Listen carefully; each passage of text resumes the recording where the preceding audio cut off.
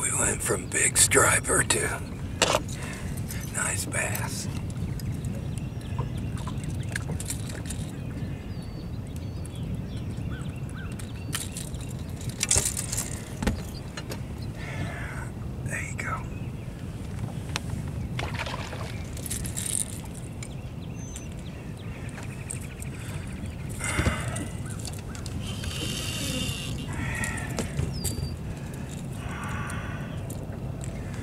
The big striper straightened the hook. That's a brand new hook I just put on there, and that big striper straightened that hook.